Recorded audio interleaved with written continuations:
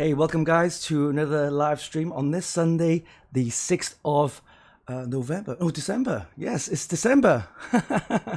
right, okay. So as usual, we have the uh, agenda. So let's bring up the agenda and have a look what's happening. Okay, so as usual, we do the uh, news and updates on our FunkyKit website and also AMD 3D. And then we'll bring on special guest Dennis Garcia from uh, Hardware Asylum. Uh, you'll probably know him from uh, Ninja Lane as well and then we'll do the rig builder, our system configurator, and it's basically our little tool for you guys to use to get some kind of prices and also kind of a spec on building a PC. And then, of course, we got the mods of the week, and that's taken from our Extreme PC modding group on our Facebook page. So check it out. We have uh, almost 50,000, or more than actually, 50,000 members. So thanks, guys, for joining and becoming a member. It's a place to post your mods uh, and if you have any ideas, then you can actually go there and get some great modding tips. And then uh, we'll do the uh, break. We'll have a couple of minutes break. And then, of course, we'll go back to the uh, general tech chat and we'll talk about the GeForce. Uh, yes, RTX, a 3080 Ti. Is that a rumor? Who knows? But yeah, we'll talk about that uh, with uh, Dennis and, of course, some general tips on modding and usual stuff like that.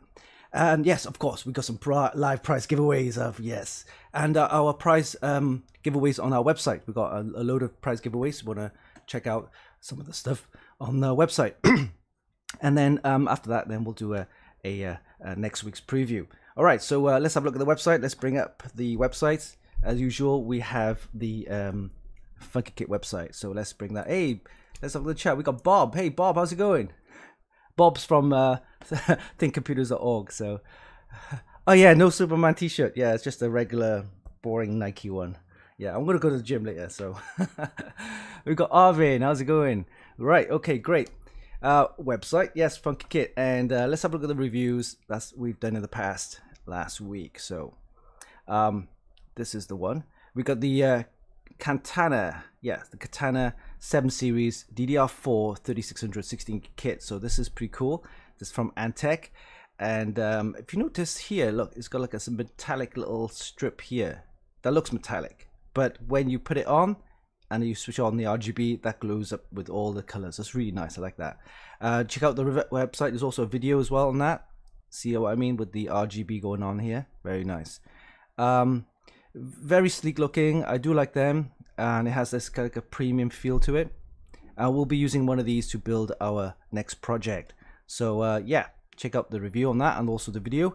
Uh, prices, $120, not too bad. Get that from Amazon as well. All right, let's go back to see what other reviews we have. We got this um, Antec Neptune 240. So this one is pretty cool. It's an all-in-one cooler with RGB, ARGB. And this one's interesting because it has a um, a pump in the radiator. So let me bring up the screenshot. Here we go. So this here is a pump inside the top of the radiator, and so it eliminates the uh, weight of the um, the pump, the head, the you know the the copper uh, CPU water block. So if you look at that, it's quite slim because the pump is actually moved from there to the top of the radiator, and all you have are one cable, and that's the RGB, and that's it. Um, so yeah, I quite like this. Um, you check out the video as well. We mounted this onto our Intel processor and actually cooled it quite well. Uh, prices, have a look. You get this in Amazon for around about 109 degree, uh, 109 dollars. Not too bad was it 109 degrees then? 109 dollars, yeah. All right, okay. Moving on. Uh, other reviews we have um, this one. This is pretty cool. This was done by Chris. Uh, this is a Porsche design, a 27 inch um, monitor, gaming monitor, and this one has got some crazy specs. 240 hertz refresh rate and 0.5 millisecond response time. Amazing. It's a 1440p, uh, so it's uh, 2K, and um, yeah, it's amazing. This one ain't cheap. is around about $800, but the design of this, look at that, it looks so cool. Uh, AOC, Argon, yeah, or Agon, but yeah, very nice. I like this. So yeah, check out the review uh, on our website. And then this one's the Ballistix 128 gig, and um, it's a DDR4 30, 3600 and it's a Ballistix uh, RAM and basically four sticks of uh, 32 yeah. Just took my maths in. Yeah 46 or 32 gig modules and um yeah because it's 128 gig ain't gonna be cheap so but they do look nice. These are the Ballistix um um rgb yeah from crucial. And um wow 360 dollars. Not cheap but hey you get 128 gig uh ddr4 3600 very nice and then finally we've got this one uh just released this morning or this evening, and that is the ASRock X570 PG Velocita motherboard uh, with a review, and that's actually over at uh, AMD 3D site. I'll, I'll talk about that in a sec. now sister website. So those are reviews on our website for Funky Kit. Check it out. Lots of news, reviews, and tips. Um, yeah, head over there. And let's talk about AMD 3D. So this is our sister site. Uh, it's been happening for about a year now we had this domain name for a while back, but we've decided to bring it back up since AMD has been quite uh, dominant over the last uh, six months. So yeah, uh, we got the ASRock X570 PG Velocita. That's the new motherboard from uh, ASRock, and um, very nice motherboard. Uh, wouldn't believe the price. It's an enthusiast grade motherboard with lots of RGB, lots of like uh, power phases, supports lots of you know high speeds RAM 5000 series uh, processors, uh, Ryzen, and um, tons of tons of features. PCIe 4 support. Amazing uh, motherboard. Check out the review and also the website. The price is under 300. In fact, it's only 275 dollars. Not bad, huh? But yeah, you get all these features. Look at that, the on-off buttons. I love these on a motherboard. Diagnostic LEDs. Yeah, that's right. 2.5 gigabit LAN, PCI 4 support, two M.2 PCI 4 support uh, SSDs as well, and DDR4 RAM support up to 5000. Yes, so very nice. Supports the um, Ryzen 5, uh, sorry, Ryzen 5000 series. Yes, processors. Uh, we got Edwin. Hey, how's it going? Uh, ASRock motherboards. Uh, oh, we got Avrin says ASRock motherboards are the best bang for your buck. Yeah, yeah, it is. I like I like uh, ASRock motherboards. All right, so yeah, so this is on the AMD 3D website. We also have some other news. Uh, we got the Radeon uh, RX 9000 XT 6900. Sorry, RX 6900 XT graphics card. It's got some benchmarks, leaked benchmarks, and then AMD CEO Dr. Lisa Su is doing a uh, presentation at CES 2021.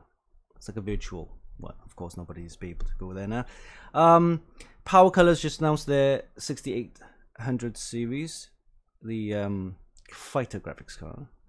And then we got other gaming news as well. So anything to do with AMD, whether it's AMD a processor, Threadripper, Radeon, Xbox, PS5, anything to do with AMD, check out AMD3D.com, our sister site. So those are the sister uh, websites we covered now, and uh, let's move back to our main agenda. And let's bring special guest Dennis uh, Garcia from Hardware Asylum. Um, hi, Dennis. How's it going? Um, tell us who you are, what you're from, and what you do, and so on. And uh, go ahead.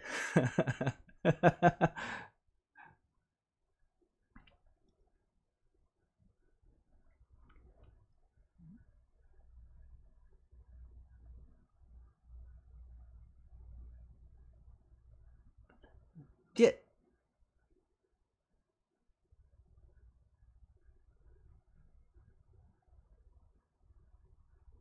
Yeah, so so this Ninja Lane is um uh started off as a because you had a, a second hobby, right? And that's the motorbikes. Like, is that yeah? Tell us, tell us a little bit about that.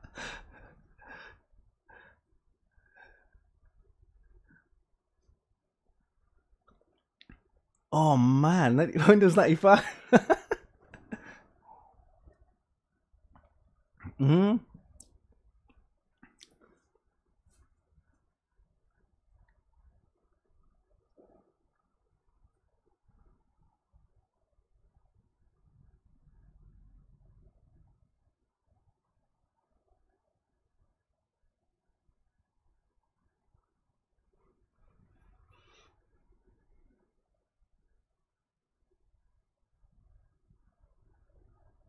Mm-hmm.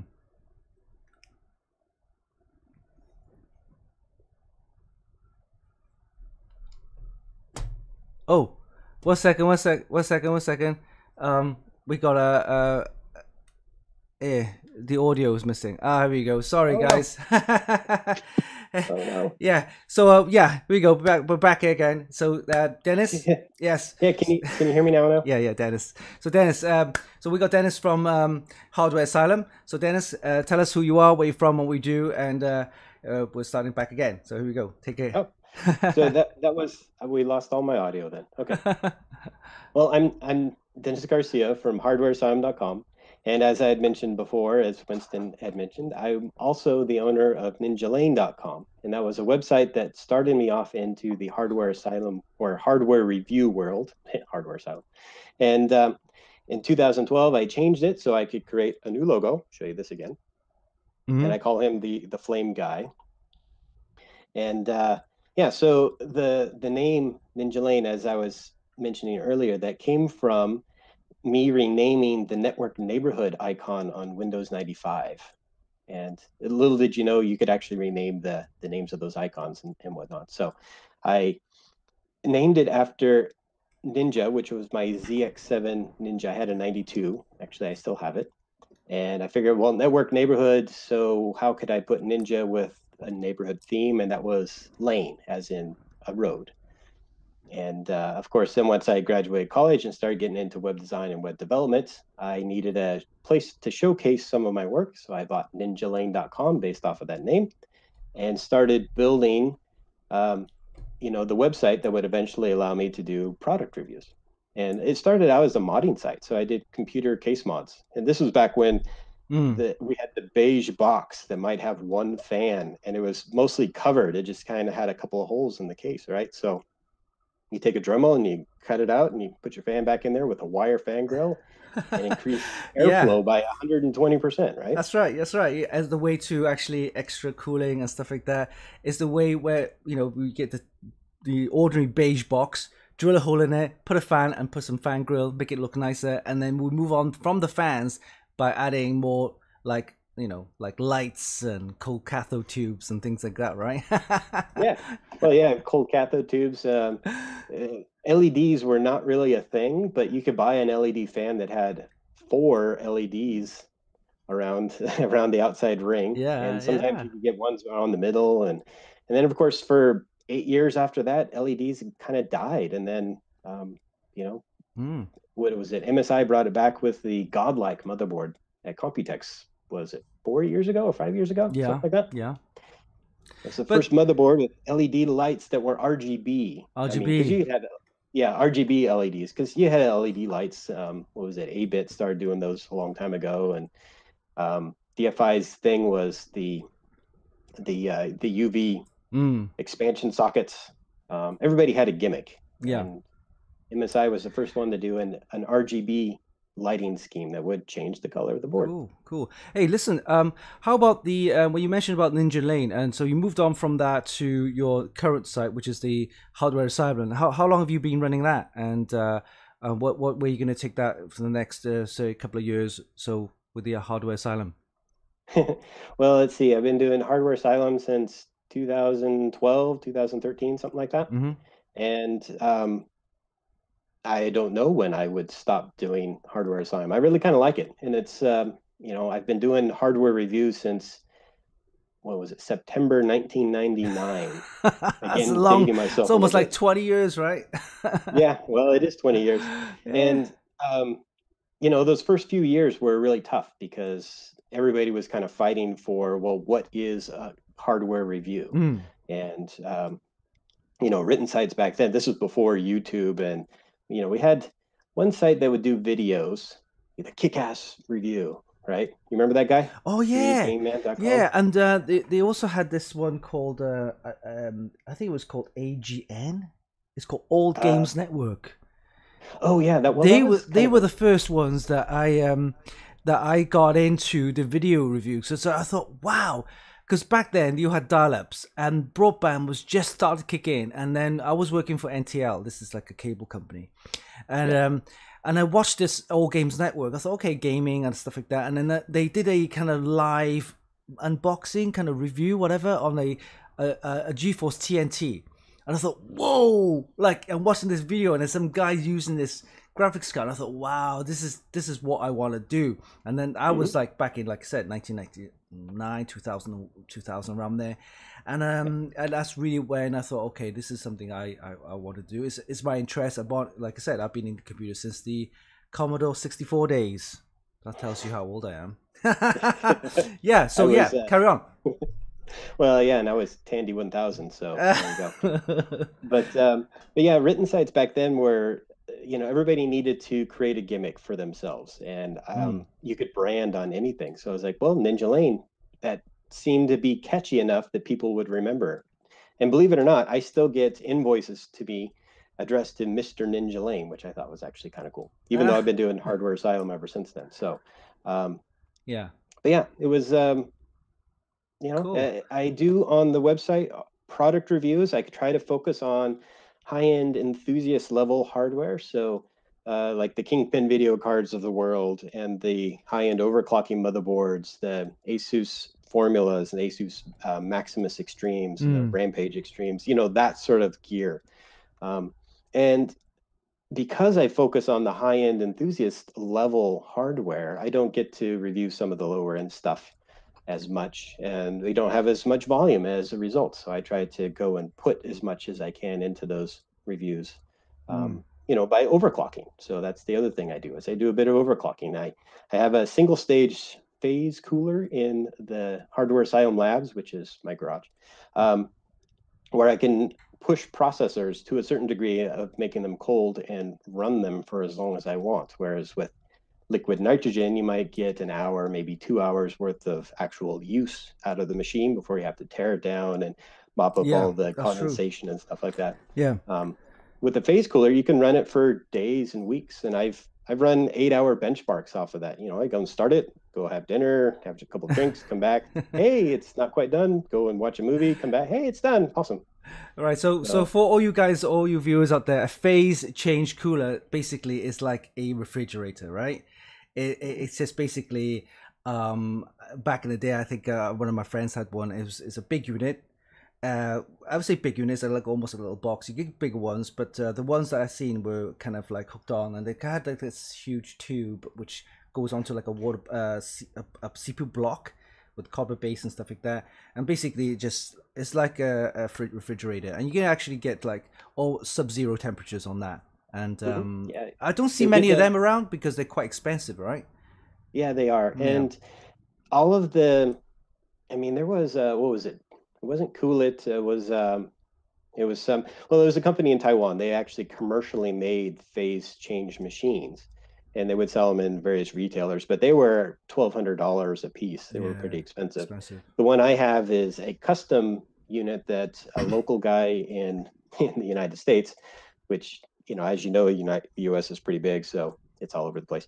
Uh, he was down in Georgia. He built me a, a, bench machine that would handle a 300 watt load, mm. and it will get down to negative 35 C. It'll peak at negative 45 C.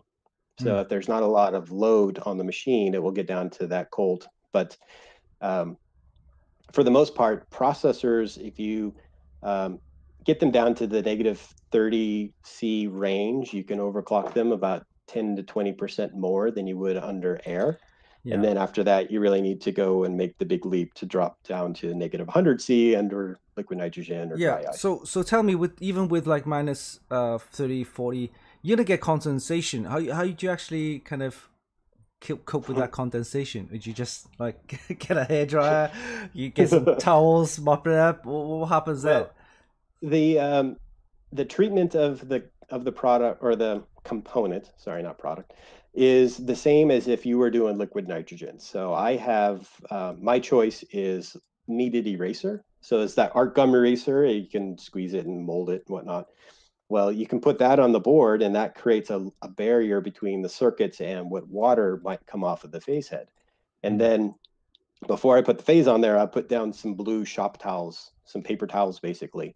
Mm. Um, the the thing that a lot of people don't realize is that with a phase and even liquid nitrogen, you'll create ice and condensation, but that necessarily isn't dangerous. When it becomes dangerous is when it melts. and that's when you get water and water will flow around and pick up dirt and then that's where you get electrical shorts and whatnot but as long as it's frozen there really isn't a problem all right so keep it so, frozen huh yeah basically keep it frozen and under some benchmarks i mean i will run uh, like a comet lake for instance i could run that the one i have at 5.5 gigahertz under the phase and mm-hmm. if i run any benchmark except for like cinebench r20 it will stay below zero now, if I run Cinebench, it will go above zero, about 20 degrees above zero before the benchmark finishes. Yeah. And at that point, it will start to melt the ice. Mm. So you need to actually kind of watch that. We we um we've seen a lot of um especially now with uh, Cooler Master and also um I think EK is doing one now. The uh, TEC coolers, the the thermal electric coolers. So uh, mm-hmm. I've I've actually played with them before, and uh, it's too much hassle because you you got to have like a nice big power supply to feed the uh, TEC, right? And uh, yeah. it's it's it's a it's a bit um, too much hassle. But now they're bringing like coolers with built-in TEC. So what, what are your thoughts on that? What are your thoughts? I I kind of like the idea. It's um it's a very niche cooling option though. So you have you know you can I explain how TEC works, right? Go ahead. yeah, so the TEC is it's uh, called a thermal electric cooler. So there's an electrical current that goes through a silicon or ceramic base, and one side of it gets cold, and the other side of it gets hot.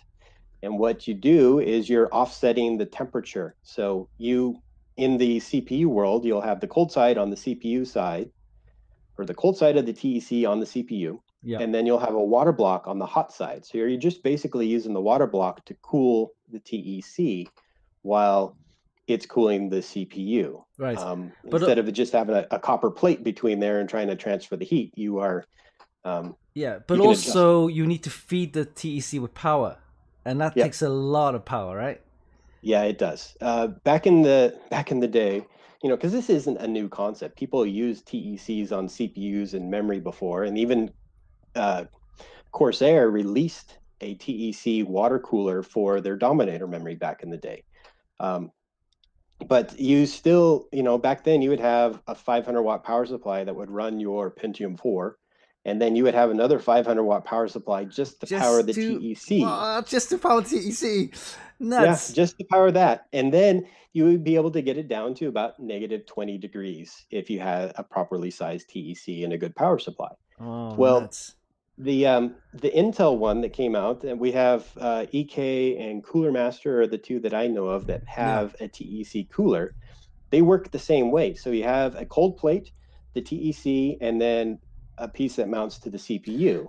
So they would have a separate power cable coming from the, the I guess the water block, right, which is the, where the mm-hmm. TEC is located, and that is probably another maybe a, what was it a, a Molex connector or something yeah, like that. Yeah, I think it's a I think it's a Molex or a SATA connector. Yeah, and then you need a, a, separate power supply for that, or do you, you could plug it straight into that?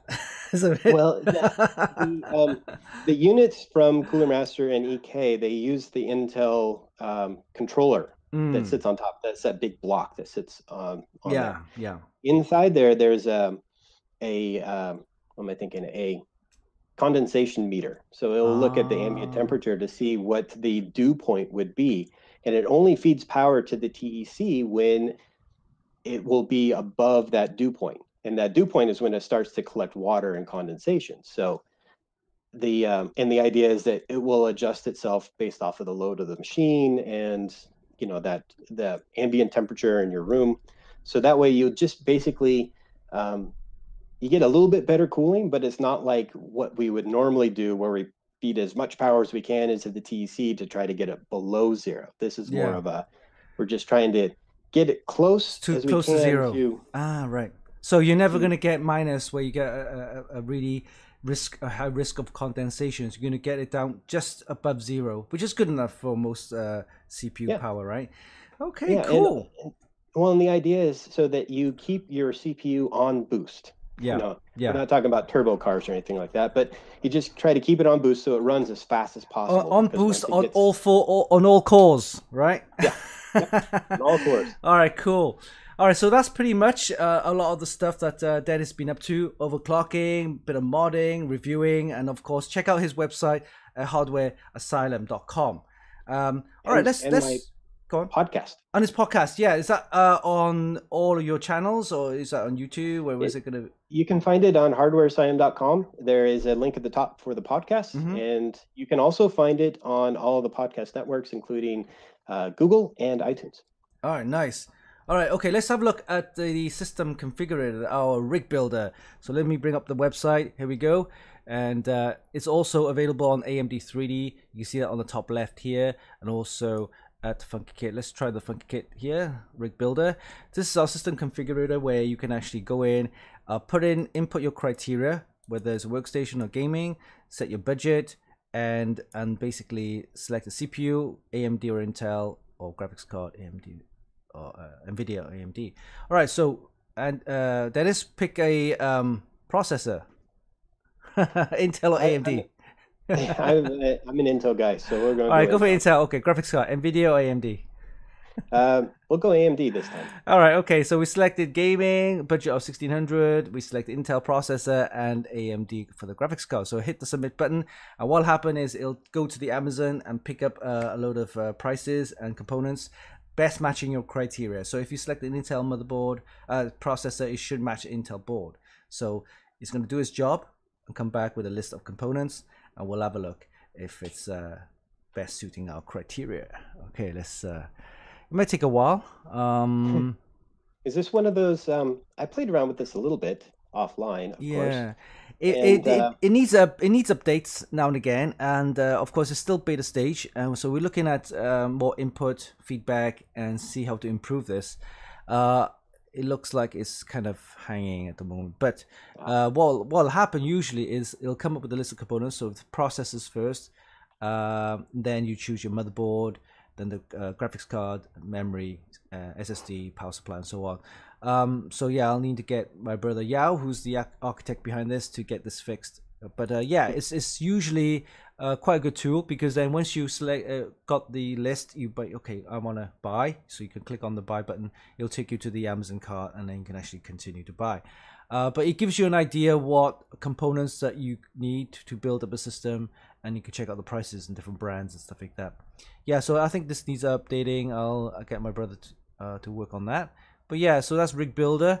Um, you can check out our, our other streams showing the Rig Builder. We've done that on the other streams. See how that works.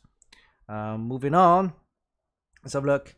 We got. Uh, oh yes, yes, it's time for. Nice. Time for mods of the week. Yes, time for the mod of the week. And um, mod of the week we have. Before we do that, let's have a look at the chat, see who's online. We got uh, Darren, how's it going? We got Stephanie Birch. Yes, how's it going? Good. Uh, Edwin. Uh, so Edwin and also Alvin was uh, earlier. We had some audio issues, but that that was fixed. That was just me. Sorry, guys. um, all good. Everyone's online. Okay, cool. Let's do mods of the week, shall we? Let's hit the button right now. Mods of the week. Okay, Dennis, what do you think of this one? This is RGB. It's totally RGB. I like that little dash down at the bottom. Yeah, this is a Thermaltake build, I think. It has uh, distro plates. Uh, okay, move on to this one first. This is a kind of uh, semi, kind of, um, how can I put it? It- Uh, Tony Stark iron- kind of build. yeah, it's an Iron Man build. Yeah. Um, I like it when they uh, adjust the the bezel. You know, so we have that little detail on the side of the bezel, and I'm sure that's a stock bezel that they just went and cut the rest of it out, yeah, yeah. even keep it in glass. Um, it's very creative. Got the red coolant. Uh, it's got Gigabyte RTX card in there. Looks like G Skill RAM. Mhm. Looks uh, it looks a nice build. Um, nothing spectacular. I'm gonna give this a seven. What do you think? Um, a f- yeah, a seven is good. Yeah, yeah. It's, it's kind of um different but clean. Yeah, well, and personally, I like clean builds, but I Yeah. also like a build that is very functional because I've put some together that are, you know, they look like art pieces, but then they're extremely fragile, and it- once you move them Oh, yeah, around, yeah, yeah. Because it's uh, yeah. Oh, look at this one.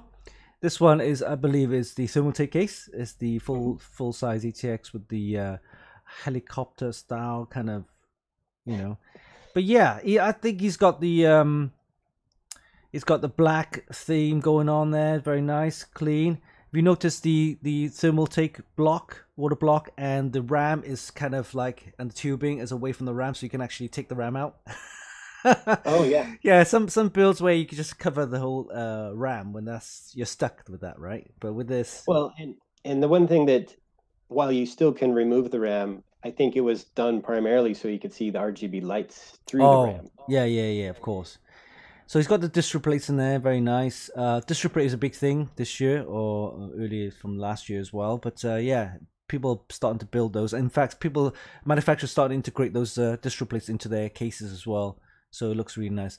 This one, um, didn't do a lot of modding on this one. I'm gonna give it a seven point five because it's it's got a it's got a nice, you know, theme. Cable tidy could have been a, bit, a little bit better, but it's Yeah, still good though. well, From from a build standpoint, I would say it's a seven. But from if we're looking at it from an actual mod standpoint, there isn't very many mods, so it might Yeah. be kind of a five. I mean, it is really super clean, that nice color scheme, but um, yeah. you know, it depends on on the way you look at it. What about this one? This one's kind of um, I'm not sure if it's a, a, a case they modded the case with this with because the case looks what those what those um yellow kind of uh, etches on those on the case is that purpose done on purpose?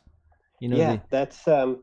So what they did is they have a base of gold, and then they put a light color or a light coating of black, kind of a matte black on top, and then you take some sandpaper and you Ah. scuff it, and make it. It makes it look distressed. Is the idea behind that? Ah, so it looks same with the water blocks. They did the same thing with the block water block. Mhm. Yeah. Um, so this one's using the Phantom uh, Gaming Velocita. This is the B550 that actually they used. So it's still a very good board. In fact, we got one of those right here as well. Um, yeah, like you got that design there. So it's a little bit of modding there with the paintwork. Um, Mhm. Soft tubing. It'll, it'll look good on some cases. Uh, this one looks okay. Um, I'm gonna give this uh, a seven point five for this one. um, I'm going to go seven again. Mm. Um, you don't see very many cases or builds, I should say, with soft tubing, and um, part of it is because you know you get a lot of peer pressure to say, well, if you're going to be putting that much effort in, you need to do hardline. Well, yeah. soft tubing gets you up and running, and it actually, in some cases, performs better. Oh, look at this one. This is the Captain America Yeah, themed. This is nice. I like the paint job on it. It looks clean. It looks really nice. It's got that uh, the old style Captain America. Uh, you know, yeah, the classic. the classic. Yeah, it's got the Yeah, red, a- blue, white it's in a um, cable. So yeah, very nice. There's the power cables. Yeah. yeah, and uh, it's a, a old Cooler Master case. Yeah, yeah, yeah. and it has the uh, the paint job for the graphics card cover as well. Mhm. Um, all in one cooler. It's good enough. Um, some of these all in one coolers is just as good. In fact, I'm using. In fact, all my builds are using um, all in one coolers. There's only certain big projects I use hardline, and that's uh, a big project because it takes time to build. Uh, but all in one's just as good. Um, yeah, I like this one. I'm gonna give this an Mhm. eight. Yeah, Um, I, would agree. Eight. yeah. This one. mean, I like um, the, the artwork. This one, a fan cooler. Yes, this guy's using fan cooling. All right, don't discount it yet because fan cooling is just as good. Uh, it's a shame that they don't have any nice uh, fan cooling. It's just using the standard stock AMD cooler right there, right? Mhm. So Yeah, imagine you had a nice. Um, he's done some paint work on that AMD cooler though. but yeah, so this one is um got a purple theme going on with the GTX. This one's a yeah, I like build. they um they took the cooler apart to paint it. That's for sure. Yeah, I'm gonna give this a, a six point five because it's just plain, really. Apart from the paint job. Um, I would have to go with a five. Although I do like the the detail they put on the basement panel there. Makes it look Right. Look like at this one. This one is um. Have you seen this case before? It's like a pyramid with the glass panels on this one. Yeah, that's um, that's an Antec design, I believe. Yeah, Right? at- Or is that an in in win? I forget. the the this one I like I like um because it's you you see everything all 360 degrees right and the board is at the bottom, but you have to put the cooler kind of like on top and the bottom stuff like that. So so uh, I would give it i'm gonna give it seven point five. All right, we'll go back onto this uh, cooler. Uh, sorry, this build here with the RGB Thermaltake. Mhm. Very nice. Distro plate. Got a nice big cooler at the top with a radiator, hardline tubes. it's got three distro plates in there. It yeah, looks like. yeah, three, yeah, yeah, and the one at the back as well. Um, for this one, because of all the component side and everything, I'm gonna give this a good eight. I would agree. yeah. It's got good good color rendering too. Uh, yeah, very nice. So you got the mods of the week, and these are all taken from the Extreme PC Modding group. So if guys, if you want to join that group, uh, it's on Facebook uh, group, so you could check it out. Extreme PC Modding. We have over fifty thousand members. So thanks, guys, for joining, and of course, uh, visit that uh, page for more modding tips and uh, any mods that you want to post on that on that page. All right, so we have Black Suit Triple Six. We got Outsider. We got Darren, uh, Arvin. Yeah, all good. Coming in, joining our show. Thanks, guys, for joining. So, um, Dennis, any modding tips? Any uh, advice on uh, some of the builds that people want to get into? Any uh, any things to look out for? Any any you know? Um, actually, the the thing with modding is that people think that there's this huge barrier of entry to actually get into doing modding, and and really, it's anytime you make a change to improve your computer, improve your system, improve the case, that's a mod. So you know, just adding extra fans or or improving the cooling to the point where instead of having, um, you know, there was a case in here where it was the Cooler Master one where he put a fan in the back as an exhaust, but then he didn't block off the rest of the venting. So what happens is the air goes out the fan and then immediately in right below it. So you don't actually get any air movement. So a mod that is really inexpensive and works amazingly well is to block off all of those vent holes.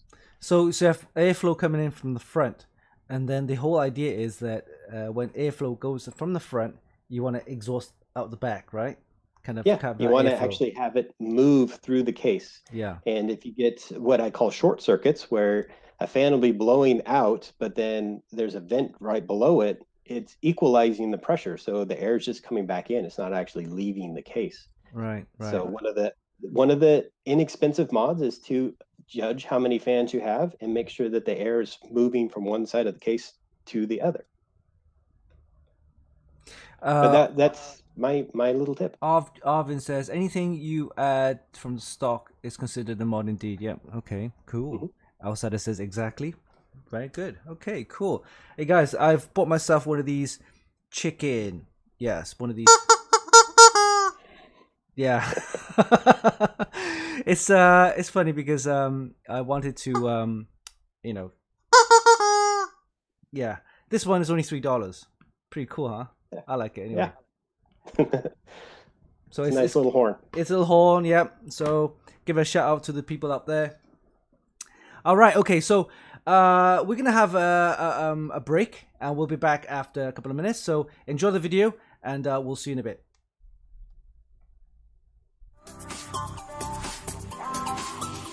嗯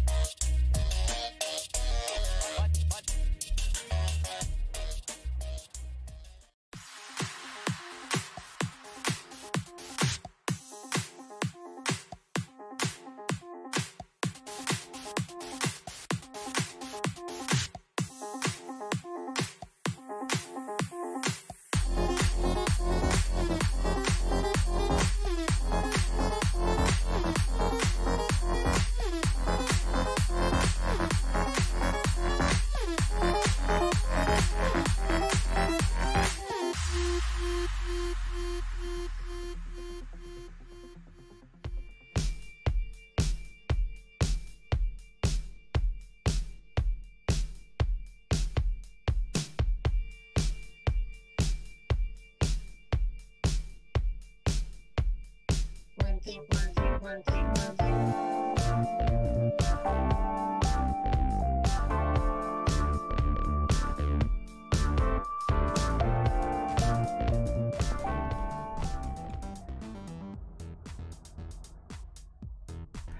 and welcome back. I hope you enjoyed that video. That was uh, the uh, kind of uh, our intro ad, I guess. Uh, I won't say an intro ad. It's more of a kind of a, a compilation of all the videos that we've done, and also what we do uh, in our labs and like modding and events and that kind of kind of stuff like that. So yeah, okay. So let's bring up um, Dennis back in, and uh, we're gonna be talking about um, the GeForce RTX. So this is basically, uh, of course, that was launched a couple of months ago. The RTX, we had lots of uh, issues with um, scalpers and all sorts of th- stuff like that.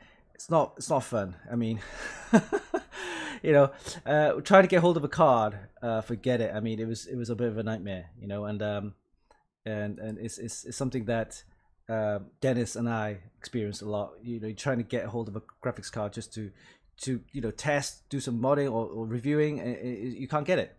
But um, but the rumors of uh, having a GeForce RTX uh, 3080 Ti uh, has been floating around. Um, what's your thoughts on that, Dennis?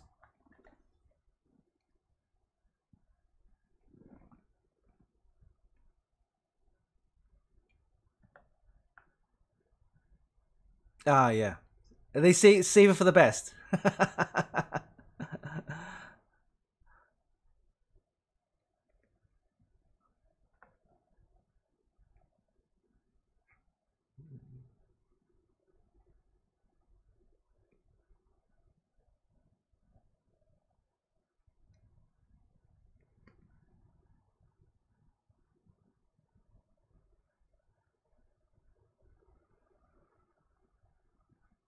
Mm. Mm. Is that because they wanted to um, put AMD on its tracks and like, hey, hold on, we need to re- release something before uh, you know the the 6800 gets a, ho- a, foothold of the market? Because you got to think when people uh, re- uh, you know think about the graphics card, they go, yeah, the 3080 and the 3070. That's really targeted at the high end gamers the prices are so much as well. I mean, looking at well over six, seven hundred dollars for those graphics cards, and don't forget uh, th- that's targeted at the high end kind of gaming. And then you have um, uh, AMD releasing their 6800s, uh, XTs, and then uh, the big one as well, the 6900 XTs. But then the 6900 were more high end. The 6800 XT were more um, kind of mid range, kind of mid to high end kind of thing. Um, but yeah, that market there is kind of uh, up for grabs, and then and A- uh, AMD have gone targeted that that bracket because uh, people who can afford between four to six hundred dollars, and that's a good range for graphics card. If I if I want to buy one, a graphics card for gaming, I'm going to target that price range between 400 and 600. There's no way I'm going to spend a thousand dollars, 800, 900 dollars for a for a GeForce 3080, but I don't need it for that price. So so this is where uh, Nvidia so hey, hold on, we're missing a a, a market brand that we need to uh, target, and this is where I think they push up the 3060 Ti, right?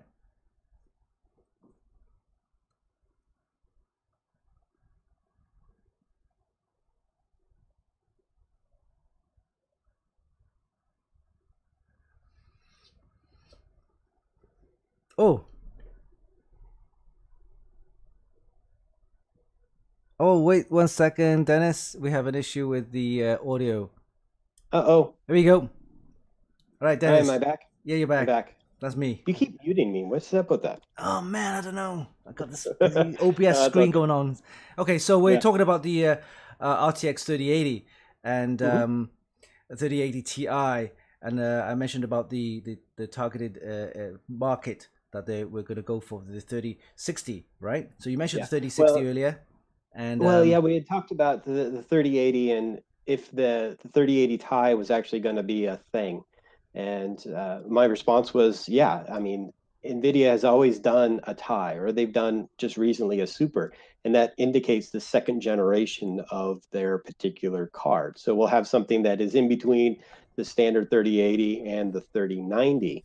Um, and a point that I was going to bring up with the 3080 Ti, if it does happen, I think that is really going to be the new enthusiast card because people are right now they can't really afford the fifteen two thousand dollars for the thirty ninety, but they want to have performance close to that. So that's where that thirty eighty Ti is going to be, and Yeah. that's going to be the the overclocker card. But uh, But we had oh, go ahead. But they, they mentioned um, the 3090. 3090 was more of a. You remember those had the, the, the Titans, right? They had the uh, back end, they had the GTX, the Titans, and then they had the Titan V and the Titan X and stuff like that. So, so, so to be honest with you, the 3090 was more of a Titan card, right?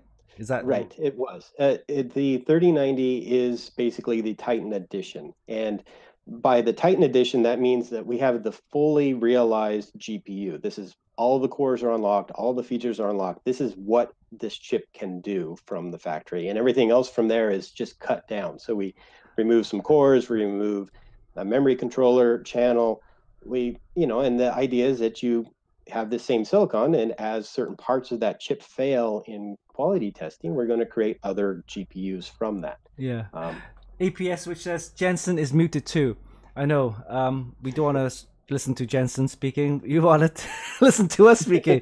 no, that's just a video in the background to show you Yeah. showcase uh, some of the GeForce um, uh, launches from last a couple of months ago.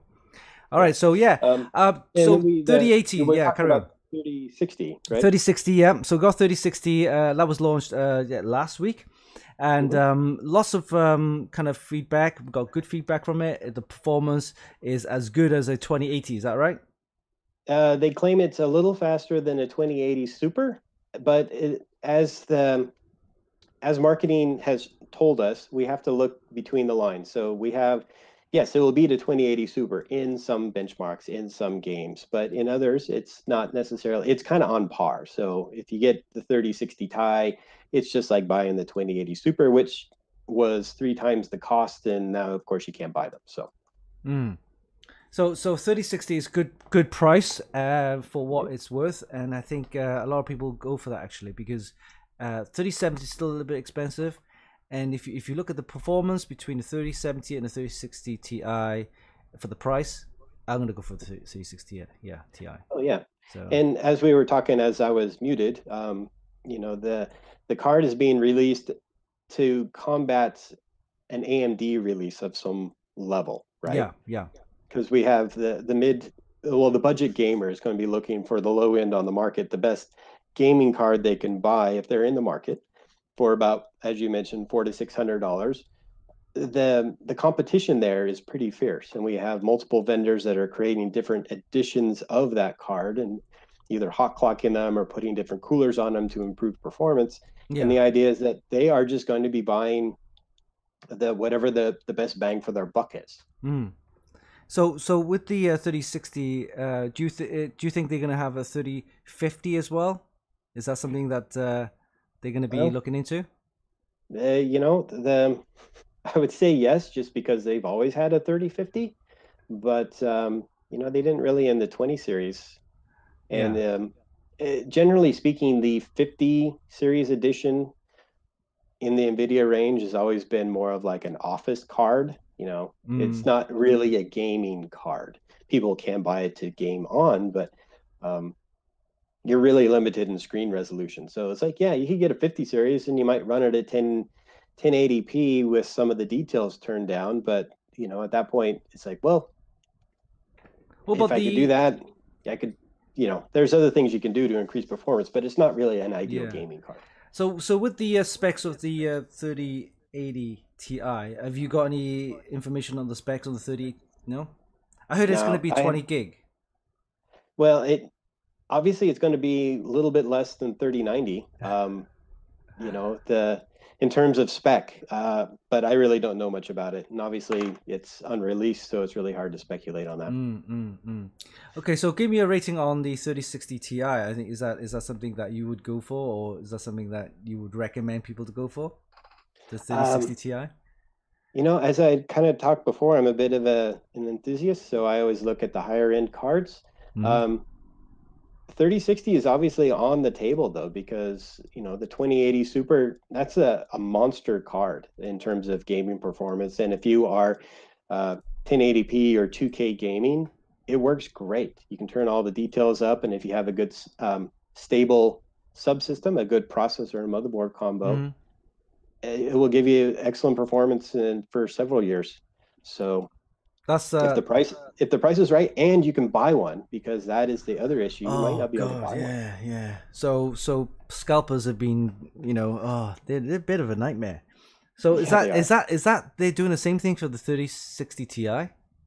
Yeah, I'm pretty sure they are. I know that in um, EVGA, for instance, has this queue system when you Mhm. go to buy a card. So you go and you basically you line up virtually. So you put your name on a list, and as product comes into the shop, they send out an email saying, "All right, you can come in and buy it, enter your code, and then you can actually make the purchase." And that is how they're getting around scalpers going to the EVGA store and buying cards. But isn't it um they take uh do like one per customer and wasn't that always the case or is that something that they bypassed that now? One Well, that was uh, the the limit has always been an EVGA thing on their store, um, and Newegg has it as well. The other retailer here in the U.S. So the while that limit is there, the the issue was we have these um, scalpers or the robo buyers. They have hundreds and hundreds of accounts that they just Ah. go and they can buy four at a time and they're just you know they program it into the bot and it goes and walks through makes the purchase and then buys up the entire stock But then so But then when you buy the stock, don't they have to like input their credit cards in? I mean, where is that fake credit cards or how how how is it done? I mean, you no they're, have they're like real they're real credit cards and yeah, that's but they're credit cards. But then you also need a shipping address matching your credit card, where Mhm. your billing address is, right? I mean, how how Well, is that? that was where um, nvidia had caught a bunch of these scalpers because they were using the same credit card so it was just that there was a different name but it was the same credit card same shipping It's, address so it's simple. I mean, all they need to do is one per customer, one per address to matching that credit card to that billing address, and that's it. You're not going to have five different credit cards registered to the same address. I mean, that's unless you're using your dad's, your sister's, your mom's, whatever. But then, if it's shipping to one address, that's it. That's Yeah. you're not gonna you're not gonna get uh uh that's basically problem solved. Ship one card to one address based on your billing card uh, address on your credit card, and that's it. And this Yeah. you, Well, and that's that's the way that it should be. But you know, with the way that the the U.S. e-tailers work, you know, they don't want to limit. You know, because it's like you have a family of five, and two people in the house want to buy cards. Well, they go and try to buy them. Well, no, you already have one shipped into your house, so you can't get another one, and then that person is being left out. So it's a balance, obviously. Um, mm, and I guess you know, EVGA's kind of gotten around it with their queue system, and others are just kind of looking at the way that the credit cards are being used. But you know, with the way that um technology is, you can just program that into your robot to go and do something slightly different. And you know, one of the other things that they were doing was shipping to PO boxes. Oh so man. and that was easy to say well we're not going to ship to a po box and Yeah. you know you shouldn't anyway i mean you should actually ship to a physical address that matches a credit card to prevent fraud and whatnot yeah, So- yeah, yeah. Cool. so, yeah i mean that the the whole um purchase market and the demand for the 30 series it's been a problem ever since you know mining right because we had the 10 series that was yeah. in short supply and then Well- 20 series was just expensive and i think that was i in my podcast we had joked about how the 20 series was um, not fully baked. You know there was more to be had in the rtx but they needed to get something released. So they released it at a really high price because people were paying that for the 10 series. So why not just take those prices and add them to the 20 series and see what happens? Ah, well, actually, I heard that they're using the the new graphics cards for mining now. I mean, is that something that's still happening? I mean, um, you know, Well, and it's um, you know, it's based off of the price of bitcoins and all of the altcoins, right? So as those things increase to make it worth their while, then yeah, we'll go and invest to buy 10 cards if we can and then put them in the system and within a month we'll be able to get our money back. That's that's their economic idea, right? Um and with that sort of money behind it, it's going to be a problem forever until well, you know, the uh, the 20 series, they claimed that the way that the core counts were, they were low enough that the cars didn't get used for mining. Well, now with the 30 series, we have so many cores and so many different threads that it makes it worthwhile again. Mm, yeah, especially with my uh, Bitcoin up the nineteen thousand dollar range, right? Possibly hitting the twenty thousand early next year. Cool, mad, mad. All right, so yes, it's the Oh, no. the chicken. Yeah, we're gonna do the uh, prize giveaways. Yes, let's have a look at the website and have a look at what's available on the prize giveaways. Let's switch over to the website, and um, here we have prize giveaways. Yes, look at that.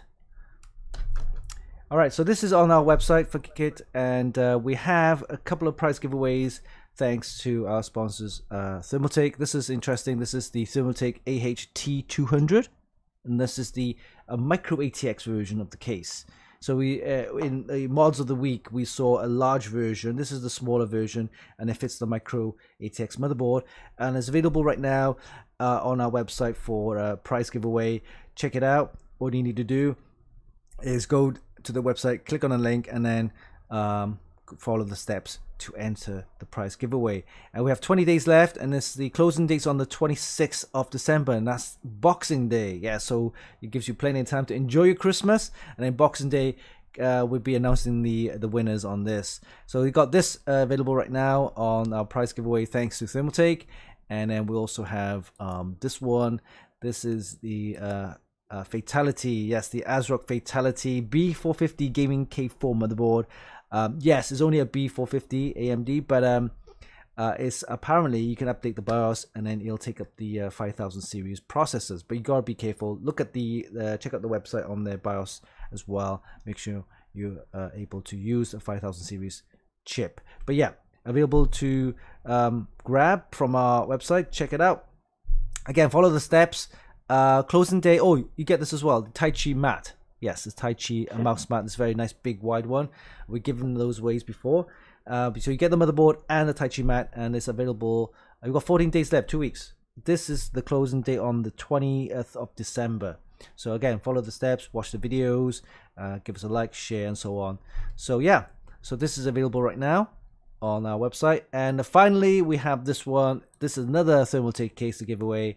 Uh, this is the um, V250 um, motherboard sync ARGB ATX mid tower. So uh, very nice chassis. It's uh, a full tower. Oh, sorry, mid tower, but it's a full size ATX motherboard you can actually fit in there. It comes with all nice RGB fans as well. Same thing again. Check out the website, click on the links, and then um, follow the steps, and then you'll be able to uh, be for a chance to win one of these. 20 days again, Boxing Day, closing date. So check it out. So those are the three uh, giveaways that we have uh, on Funky Kit. Uh, on AMD 3D, we have um, the same motherboard actually because uh, ASRock gave us two motherboards, so we decided to put this one on AMD 3D, and this one, yeah, the same one. So same thing, same motherboard, but it's on a on the AMD 3D website. So with those prize giveaways to give away, right? So those are the prize giveaways, and uh, I think it's time to do a live prize giveaway. Do you think? Sure. I, I, I um, this week's I'll let you do that. prize giveaway. yeah, we're gonna do a live prize giveaway, and it's awesome. Awesome. Yes, it's awesome. You like that? That- That's actually me doing the uh, voice. Um, let's grab something off the uh, the cabinet, shall we? What, what do what do we have here? Oh look, look at that. I'm gonna give one of these away. did you brush brush the dust off? I, I did. It's been it's been on the shelf for a while. Actually, no, it's just um, Yeah. you know, I'm gonna give it a good rub. Right, it's one of these. It's called a storage backupper. Right, and this is basically a external enclosure that you can actually fit a two and a half inch uh, SSD in there, and um, or two and a half inch hard drive, and it has a USB three connection and also a USB C, Type A and Type C. And uh, funny enough is you can actually download the software from the App Store, whether it's Android or uh, Google uh, apps, yeah, Google Android Play Store or uh, Apple App Store, and uh, you can actually use the phone to back up all your photos straight into this device. Oh, hard drive not included. Sorry. you gotta fit your own hard drive in there. But yeah, this one uh, available right now. I want to give one of these away. Yes, it's okay. Let me cover the hard drive. So it's just one of these. Okay, it's the enclosure. But don't think the enclosure is about thirty dollars actually because it has a unique way of um, basically backing up your phone's um, information, whether it's photos, documents, and so on. It's just one USB cable from the USB C or A that connects up to your phone, and then use the app on the phone to transfer data straight into your uh, hard drive once you put one in.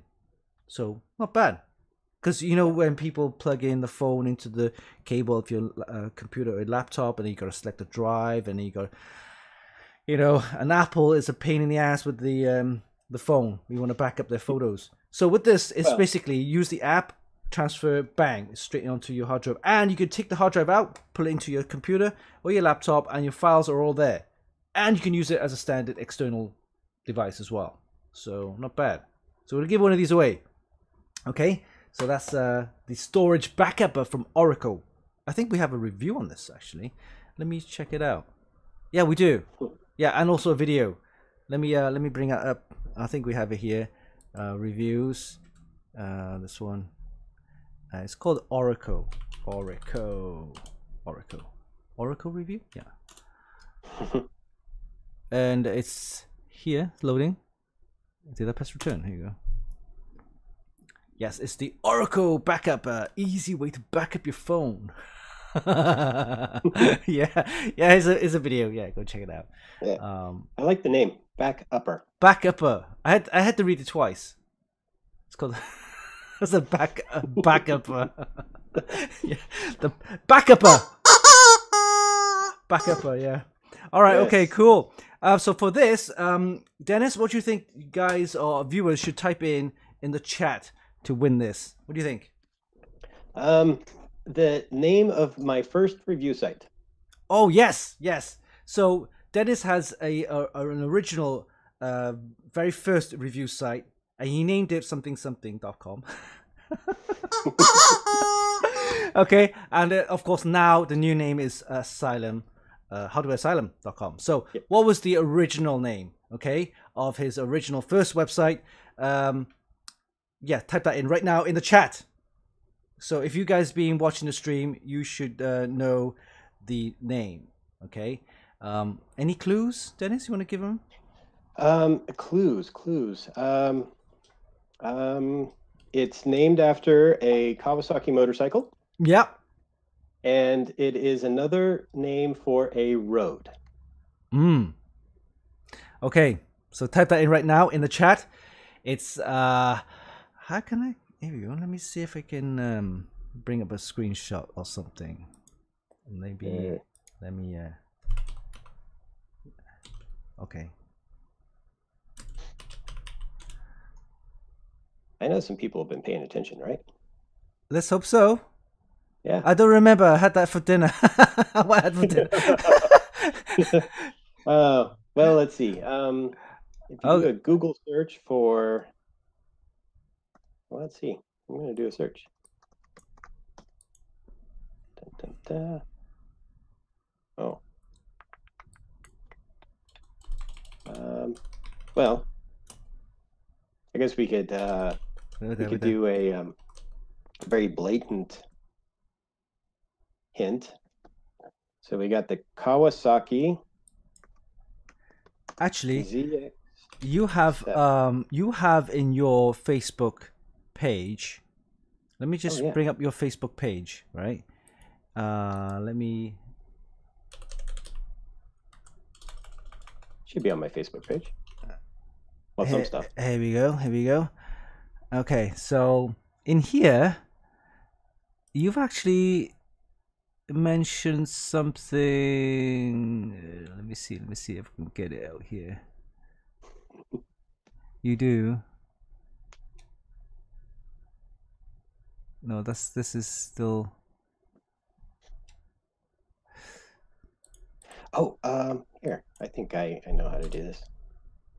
Go here.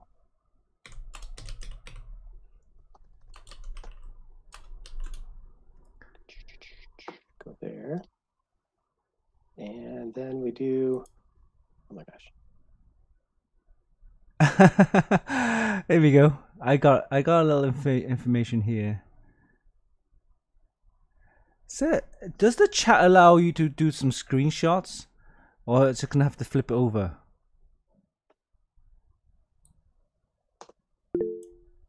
Here, you, I sent you a link. You can just post that picture. Okay, this picture. Okay, let me grab yeah. that picture. Um, let me see if I can get that. Sorry, sorry. Let me just get a link. it's okay. It, it, it's the the super. I'm not going to tell you what it is, but you can just read it. All right. Okay. Got it. Oh, okay. Cool. I got it. I got it.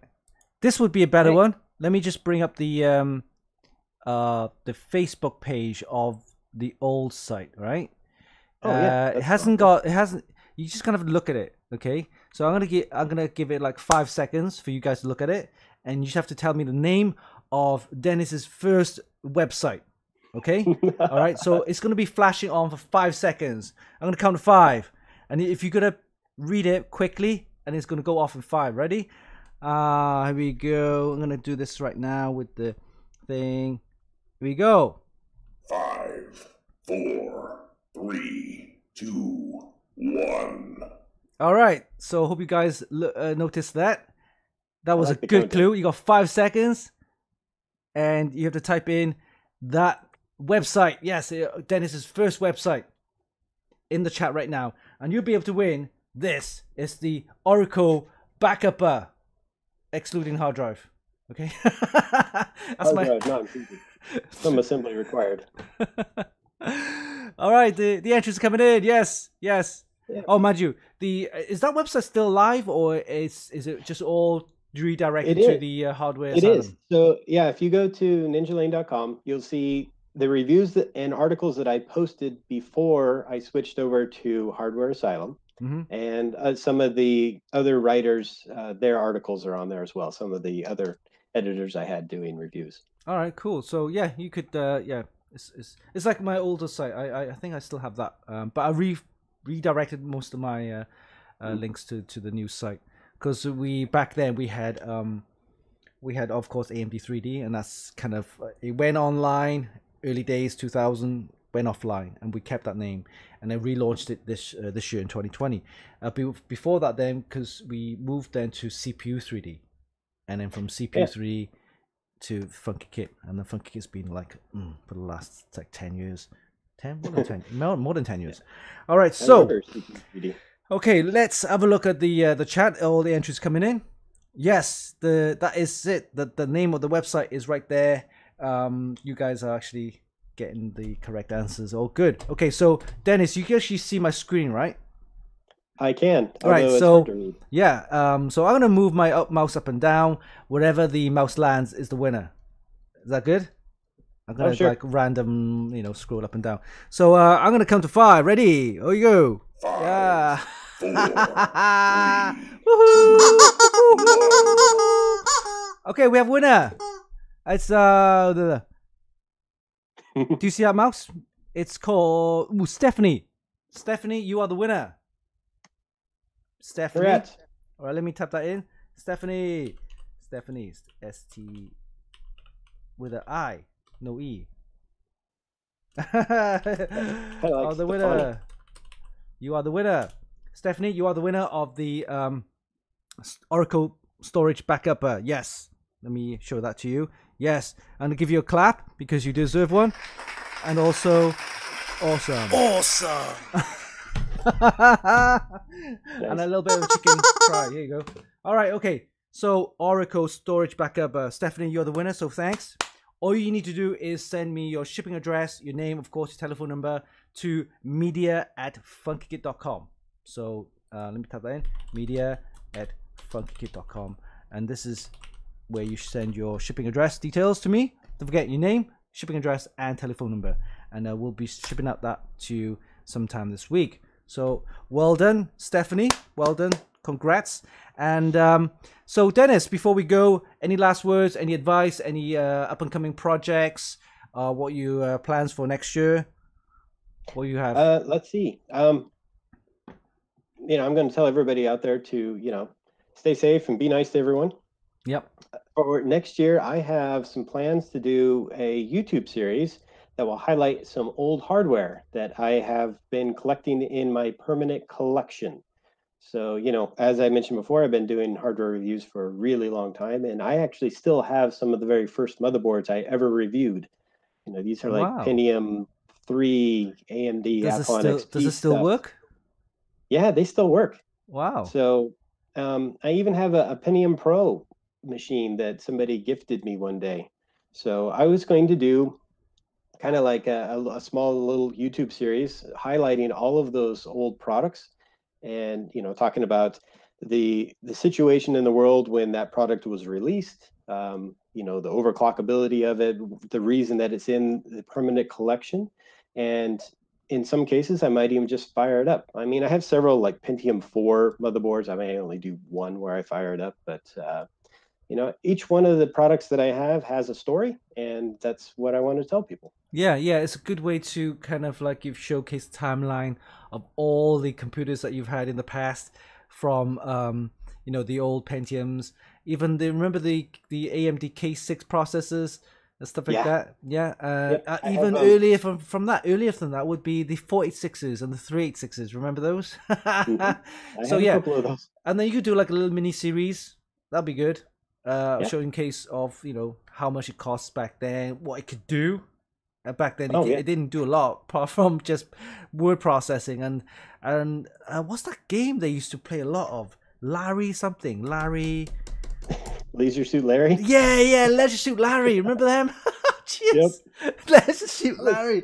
Yeah, Yeah. and That was um, a, a fun game when it first came out, and then they released some other editions that were not. yeah, and then you can talk but- about some of the stuff like uh, um, from there, the old graphics, because they have the old VGA cards, and then the VGA cards were not designed for gaming, and then they had those Voodoo cards. Remember those Voodoo cards, Mhm. 3DFX, and that Yep. really changed the way people game on PC. And that was the first kind of like big boost, uh, and it kind of elevated PC gaming to a level where okay, people are shifting away from that because uh, consoles at the time was big. You know, Yeah. people just using consoles to play games, and that's fine. But they didn't have the interconnectivity with obviously online and internet and stuff like that, and also consoles were just consoles. You couldn't do anything else with apart from playing games. So the PC though, you can go on the internet, you can do word processing, you can game, you can do like lots of other things, not but not just gaming. You know, apart from gaming as well. So it was a it was an overall tool for everything to do with you know you can do a little bit of hacking if you wanted. Yeah, no.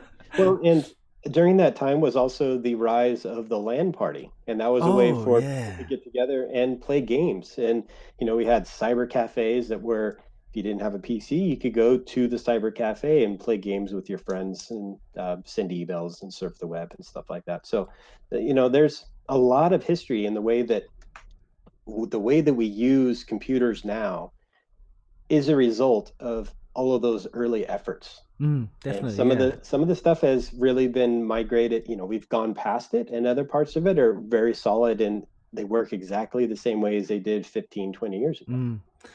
Yeah. So, so Dennis, talk us uh, about your plans for the the future for next year. Um, CES. Any any plans there in Computex? Or when Well, when the- will we see you again? um, i'm hoping that i'll be around for computex uh, assuming that the um, the world kind of gets their act together and we can start traveling around again uh, ces obviously has gone to a virtual show Yeah. and as a hardware media we make the excuse to go to vegas to visit ces and see it but a lot of it is just kind of spent running around to the different hotel rooms to meet with our hardware vendors because Hmm. while they are taking advantage of CES, what they have to show is not necessarily CES worthy. So, you know, I'll spend a day on the show floor to go and check out the latest thing. It's, you know, the in the drone corner and, you know, checking out some of the latest TVs and whatnot. But Mm, if I want to talk to EVGA, I need to go to where EVGA is staying. If I need to talk to Cooler Master, I need to go yeah. where Cooler Master is. So, um, unfortunately, since yeah, since that's not going to happen, then I'll probably just kind of watch the videos online. But Computex, I'm hoping to go to Taiwan again in 2021. Yeah. So I'll probably see you there too. Fingers Yeah. crossed. Yeah. 'Cause, uh, yeah, we'll see how it goes. Yeah, so Dennis and I've uh, known each other for a few years now, and um, you know, of course, we're kind of veterans in this kind of tech game. Yeah, we've been doing this review stuff way, way back, and uh, yeah, it's all good to see everybody, the community, get together and everything. It's a good place to have uh, chats and stuff like that. So yeah, it's all good. So Dennis, hope you, hope you enjoyed the stream, and of course, uh, we'll have you again uh, next time. Just you know, just give me a ping, and of course, uh, we'll set up a, another stream uh, any catch, any updates on your projects and things like that. It's all good to have you on board. Of course, we have every week we have different guests. Uh, this week we had Dennis, and then um, of course next week we have I think we have uh, um, yeah Dwayne. You know Dwayne? Oh, yeah, we Dwayne from yeah, we- Modders Inc. Modders Inc. Yes, we're gonna have Dwayne from Modders Inc. next week. So uh, stay tuned to make sure you don't, don't miss that show as well. So thanks, Dennis, for joining our show, and of course we'll will have you again uh, when you have any updates for us as well. So Cool. stay safe, enjoy your weekend or week, and uh, we'll see you next time next week in our show. Until then, All right. bye. Take care.